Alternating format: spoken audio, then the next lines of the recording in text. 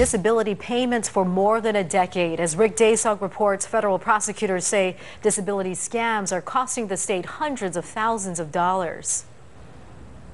That's Steven Splater in the black shirt leaving the federal courthouse. The 58 year old Salt Lake man is accused of taking more than $220,000 of his dead mother's disability payments. The idea of paying tribute to your dead relatives by receiving their governmental benefits after they've perished is just a bad idea. The indictment also says that in 2003, Splater filed documents with the Labor Department that gave him power of attorney over his mother's affairs, even though she died several years before. This is just the latest case involving the alleged theft of disability payments.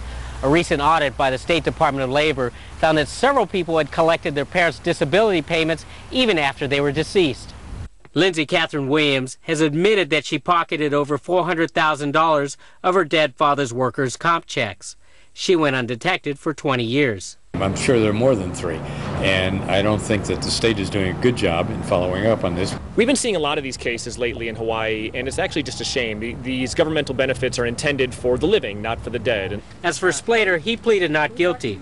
If convicted, he faces up to 20 years in jail for each of the three fraud charges.